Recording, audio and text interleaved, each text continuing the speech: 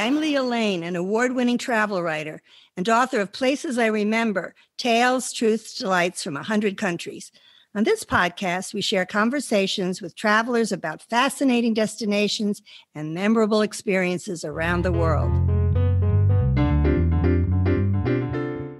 On Places I Remember, we love travel and travel stories. And our guest today has a memorable one. Sandra Smith's memoir, Out of the Fog, describes how marital discord, alcoholism, and recovery led her to a mostly solo seven year sailing adventure in the Pacific. At 43, she buys a 35 foot sailboat, gets rid of the radar system and all the fancy navigating equipment, and teaches herself to sail. Navigating by the ancient mariner's system of dead reckoning, Sandra experiences horrendous storms, evades drug dealers and pirates as she sails over 4,000 miles alone, and sometimes with her rebellious teenage daughter. Her odyssey brings self discovery and healing. Welcome, Sandra Smith, to Places I Remember. Thank you, Lea. I'm thrilled to be here with you. Well, before we talk about your incredible sailing adventures, let's talk a bit about your earlier life. In your book, you write that you went to school in Scotland, you spent a summer in Greece, you studied in France, you hitchhiked to Barcelona, you lived in a villa with a friend in Aix-en-Provence with no indoor water and only a wood burning stove. You sailed to the Canary Islands on a banana boat, and you met your husband there. And you married in Philadelphia, had two children, and eventually got divorced. Along the way, give us a brief idea of some of your occupations. Oh, gosh. I've had a lot of them. Let's see. I've been director of the Springfield Regional Arts Council, and I was cultural affairs. That's in Missouri. And then I was cultural affairs specialist for the county of Santa Cruz in California, and then director of the Santa Cruz County Arts Council. I've been a chef at a restaurant in the harbor in Santa Cruz because I told him he was losing money not having breakfast. So he opened up, and I had never been a chef before. Oh, it was awful. It was hard because the young chef dudes gave me all the hard work till I finally told him that's enough. Because, but I became an expert on doing all the fish oh, I owned my own real estate and insurance agency in Philadelphia in the 60s when I, I was very young. Uh, it was my husband, that husband, number one, had um, inherited it from his father, but he was not good at. Well, you were also an opera singer, weren't you? Oh yeah. Well, that's oh, yeah. I, By the way, actually, they the opera Philadelphia Opera Company found that in a head-on collision, somebody hit me that my my vocal cord had been semi-paralyzed because all of a sudden I wasn't able to sing. But the directors of the operas loved my acting. So I was always cast as a character, like the lead, the little French maid to the leading lady. Oh yeah, the, num- the number one prostitute, or you know, I was also I was also the cafe owner in in um, La Boheme. Then I was also in a lot of theater. I've been in a lot of theater all my life. Well, you've had a fabulous life in so many ways. But what made you buy a sailboat off the California coast?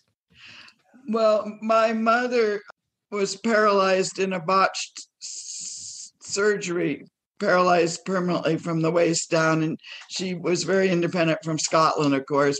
And she insisted on living, staying living alone. She was a widow in her beautiful home in outside Santa Cruz. And I was in Philadelphia.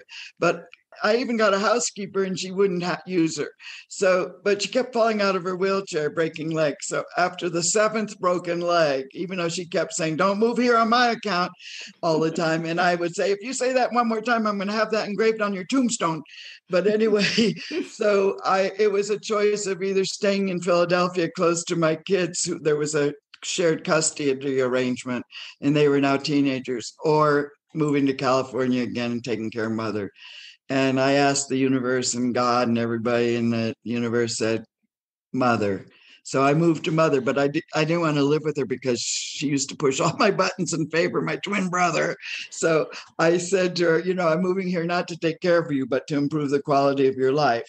But I know you're very independent and I don't want you to feel like I'm, you know, moving right in. So I thought I'd buy a sailboat and live on it in the Santa Cruz Harbor and be real close to you. So, what was the most difficult aspect of learning to sail and sailing? Oh gosh, I made the mistake. There's, I call them dock birds. It's boats that men with wearing white pants never take their boat out. They use them for a little, you know, to have little trysts with martinis, etc.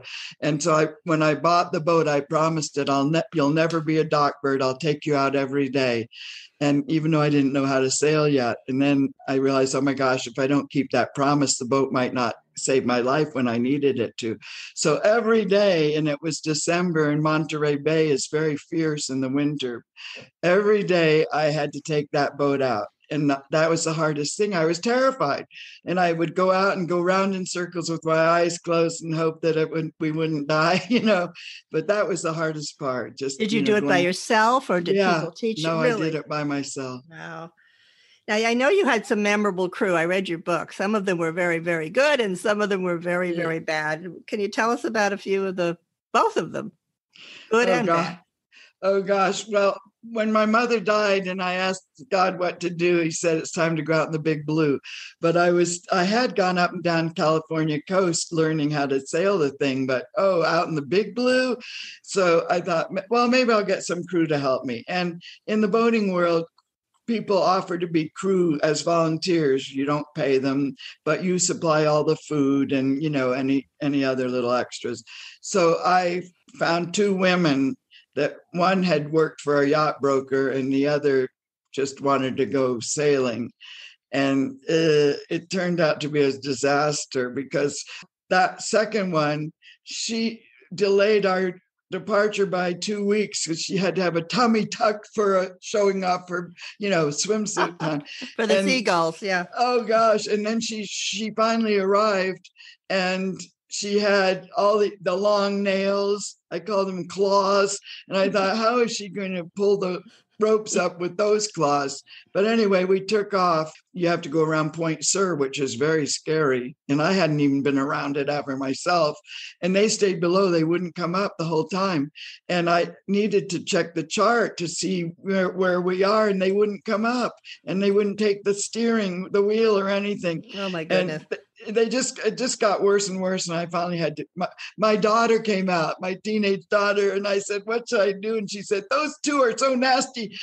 Well, it worked out. You got you got you got to the yeah. harbor and you got you know on your way again. I know you sailed for seven years and you were heading directly down the pacific ocean hugging the coastline from san francisco. Tell us about some of your favorite harbors in and around mexico. You mentioned the san benito's islands in your book. Tell us oh about those. yes. My daughter came out to sail with me as crew and so we she we it was i had gotten to san diego. And so one of the boaters told me who was really a nice boater said sandra if you have time go out to the san benitos because there's an elephant seal population out there. Well i didn't know how hard this would be but i had taught myself how to navigate with the compass and the chart i didn't have fancy equipment. And so i made a course and everything and we took off. And so we thought we should be there you know in two or three days. But there was supposed to be a lighthouse in a lighted buoy there and when we arrived in the middle of the night where we thought we would be at the islands there was no lighthouse. And got on the radio help anybody out there? And a fisherman in broken english said watch out! I see the light on top of your mast and you're heading right to go over our reefs. And i said where's No. the lighthouse? And he said oh it died years ago. Oh no so he guided us in all around the three islands to get the safe way into the anchorage. Oh no, another reef! It was like that for an hour or so, but we got there and got to see these fabulous elephant seals. what about an island that's near cabo near cabo san lucas in the in uh, the sea of cortez called the spiritu santo it's called the Oh. jewel of the sea of cortez tell us about that pretty island Oh golly, there's at that time there in fact san benitos there wasn't anything on there at all no buildings at all. Now i understand they have cruise ships going over there. But espiritu santo is 23 miles off la paz which is the most fabulous place to be in the whole of baja. What make what makes it so fabulous? Oh so much culture so many art events. There they even have symphonies there So Espiritu Santo, you go from La Paz over there for the day or can anchor over there. And the oh the the rocks there and the formations are incredible and the the plant life, the cactus, they're just gorgeous. And the little bays, little anchorages, the water is so blue and it's so peaceful there. It's a very beautiful thing to see the desert come down to the sea. It's a very stark and beautiful landscape. I, I agree with you. Yeah. Now, you continued over to mainland Mexico and you went to anchor in Puerto Vallarta, you went to Mazat- Mazatlan, Manzanillo, and many uninhabited places. What were some of your favorites of those? Oh, there's a little island off Puerto Vallarta that was always fun to go sailing over. Or sometimes when I didn't want to pull anchor, I'd just hitch a ride with a fisherman and go over there. And we all called it the Pie Island because there were only a few people living there. And the ladies that lived there, the locals, they made fresh pies every day and they'd walk up and down the beach. Each day it was a different pie that you could buy or take back with you to your boat and PV. That was a Yum. lot of fun. I think I remember reading it was mango pie. Was that one? Yeah, that was. Oh my specialty. goodness! Yum. I would like that part. Well, after that, you you got lost at sea trying to get to Costa Rica. Could you tell us a little bit about that saga? Uh, you talked about crew. That was another bad crew. Well, I was in PV and trying to decide if I should go south because it was kind of scary for Puerto me. Vallarta, yeah. Yeah. And so this fellow there, he he needed crew. He was going to go to Costa Rica. And so I thought, oh, that's good. I'll get a chance to see what it's like sailing down there and if I can handle it myself. And he had leather patches on his jacket and had graduated from Stanford. So I thought he can't be all that bad. So I said, I'll, because I had stopped drinking years before, I said, I'll be happy to do it if you don't take any booze and I can bring my dog. And he said yes, he agreed to that. And the next day, another fellow appeared that wanted to go on the trip, and he he's a cinematographer for the the largest movie company in Canada. And when he didn't have movies to do, he would just come down there and hang out. And so I called him Bear. He was kind of cuddly and big, you know, and really nice. So we took off, and a few minutes out of the harbor, the owner, I'm going to call him Captain Bligh, said, Get me a beer. I said, beer. And Bear opened up the refrigerator. And I had donated all this filet mignon that I had driven to San Diego just to get because the Mexican meat is so tough to chew. And I donated this whole thing. And there wasn't, he had gotten rid of it, and the whole rice box was filled with beer. Oh, and no. Bear went to get a glass to pour, and the guy shouted down, Don't bother with a glass, just bring me the quart bottle and I knew I was in trouble and Uh-oh. it went downhill from there. So you were supposed to be there about a week or so, but you ended up being lost at sea without much food and I guess weeks uh, on this yeah. trip, right? Without a compass and and sort of having to work it yourself with with your own charts. Is that correct? You were kind of well, leading the way. Yeah, well, we almost were a few hours out and his engine died. And I just read in my Bible, the Annapolis Book of Sailing, how to fix what was wrong. And he didn't want any woman messing with his engine. So we were off without an engine. And then, not too far down the line, the jib got the main front sail got a little rip in it, and he didn't have any sail repair tape. I mean, that's you go with that everywhere. And so he took that. So now we're down to just going on the, the mainsail. And when I didn't see him navigating the charts, and I'm really good at that, and I said, I'd like to navigate the charts today. I'm good at it. And he said, I'm doing the chart when I said, Well, I have, can I look at them and see where we are? Because I used to look every two hours and find where I was. He said, I didn't bother wasting money on charts. He said, oh I said, What are you using? He held up a book, National Geographic Atlas, and I oh, knew oh my we goodness. were in trouble. oh my goodness. and it took weeks to it took weeks well, you got weeks. you got back from that one too. But one thing you wrote about on the way there, you, you found this beautiful island. Wasn't there a lovely island in that area? Oh yes, we went by Cocos Island, and it's where Robert Louis Stevenson he wrote his book Treasure Island because they're pretty sure there's over a billion dollars worth of treasure hidden there by the fellow who took when um, Peru was having a going to have a war with Argentina invading. The head of the church asked him this guy to take all the treasures, including a full size solid gold Madonna and diamonds and pearl, all everything, to take it to safety. Well, the guy turned into a, a really naughty man and he grabbed took all the stuff and instead of taking it where the guy said he took it to Cocos Island and they say buried it there. Well, it's still there, probably, right? Yeah, and also the the author of Jurassic Park used Cocos Island as a model for Jurassic Park movie. Interesting. Well, you write that you lost a lot of weight for the lack of food while you were there, but you eventually wound up in Antigua, Guatemala, which is a beautiful landlocked area. It is not on the water. And when you were there, you were only supposed to spend a weekend. What happened? Well, I was, you know, after being lost at sea for so long and being a hostage because another boat offered to take me and he wouldn't let me get off. I was really in the low, low space. And Bear and I traveled around Costa Rica, but he was also, it was terrible. So I finally said, Well, I'm going to guess I'll have to fly back to my boat up in Mexico. So I was at the airport. I got a reservation to get up to Mexico to get my boat. And these ladies behind me were talking about this place, Antigua in Guatemala.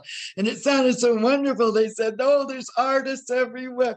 So I quick up, ran up to the desk and changed my ticket and um, flew to Guatemala City to go to this Antigua. And I got a ticket that I would go there today, Friday, and leave Sunday and go up to Mexico City. But when I got there, the US government hands Americans three single spaced typewritten pages. It says guidelines for US travel in Guatemala. And all three pages is don't do this, don't go climbing the volcanoes, blah, blah, blah, don't here, go, blah, blah. And I scratched that out because I said, I'll never know Guatemala if I follow this rule.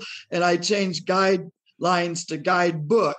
And I promised Guatemala, you know, in my heart that I would not leave until I had done everything on the three pages. And so, how long me, did it take? It took me six months. Oh my goodness, you did it! You yeah. did it!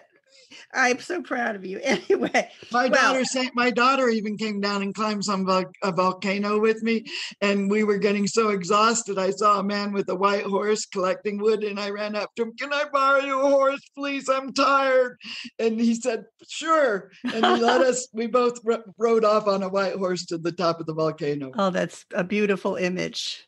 Well, people can read in the book your other adventures, but you wound up in Eureka Springs, Arkansas, owning a B&B. And now you are happily married and landlocked in Bisbee, Arizona. How's that going? Oh, it's all wonderful. I finally sold the boat after another bad crew experience. One guy admitted he was a murderer, and that that did it. Oh, so I, oh, it was awful. So I sailed my boat back again to Puerto Vallarta and I got on the radio. Anybody can help me sail up to San Diego. And a guy came on and said he could, could go as far as the Baja, right? And when he came on my boat, he looked it all over and he said, Do you want to sell your boat? And I said, Sold. and somebody in, in Puerto Vallarta was going to Arkansas and she I asked her, "Can I ride with you?" Because th- these two other guys from Missouri told me I should move to Eureka Springs because there's people like me there. They said, so well, it's a very with, artsy and fun area. I will say it's a lovely yeah, town. Right so that's how I ended up there. And when one of the times when the boat was almost going to sink, my whole life passed before me. And I saw the time when I was really single mom poor and I rented out my bedroom, you know, overnight and I had the best time with everybody. And that came across the screen when my life was flashing by. And I thought, okay, I'm going to move to Eureka Springs and open a B&B. So you did I, that? I, I ran it for 26 years. Wow. I think yeah. I probably have passed. As I said, I've been in Eureka Springs, and I used to write guidebooks about B and B. So I may have been in your B and B for all I know. We have oh, may, wow. may, have met. Yeah. Oh, wow. We could have passed in the night. So let me just ask you, Sandra. The name of the podcast is Places I Remember. You have so many memories, but could you tell me one special one to you of all your travels? Gosh, you know, it the landscapes can change and be beautiful or different but it's people the people you meet traveling that makes all the difference. And it makes me really angry when you hear people with their hatred and their prejudice it's the people you meet. And so when I was tra- I traveled all around the Greek islands, you know, I met so many wonderful people on the Greek islands, not the touristy places, but the locals. And I always stayed away from tourist places because I wanted to know the real people. So in Greece, it was wonderful it was also wonderful the fishermen that I met in the different anchorages.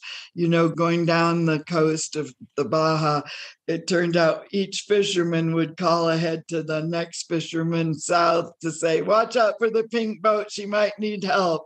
They'd pass the message like that. And when I got one time, the motor died and everything, and I got to Mon- Manzanillo for the nearest mechanic, and it took days to sail there. All of a sudden, I I, I docked my boat in the marina. Here comes a running man. Sorrento. They always call you by your boat name. Sorrento, Sorrento. I mecanico. I waiting for three days. You see how wonderful they are. Yeah, I agree. The people are what makes travel the best. I agree. Yeah. Thank you, Sandra Smith. The name of your award winning book is Out of the Fog. And we have links in this episode show notes.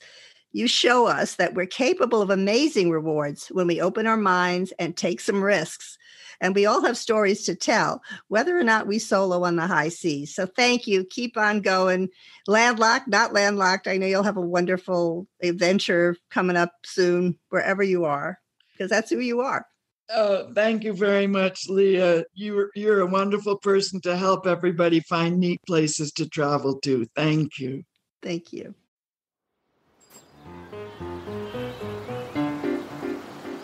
Thanks for listening to our award winning podcast. We've recorded over 100 episodes of Places I Remember, so follow us on any podcast app. And new monthly episodes are also on YouTube with gorgeous video.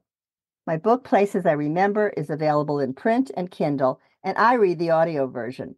Follow my travel writing at Forbes.com. Contact me at the links in the show notes or on my website, places I placesirememberlealane.com, and keep making your own travel memories.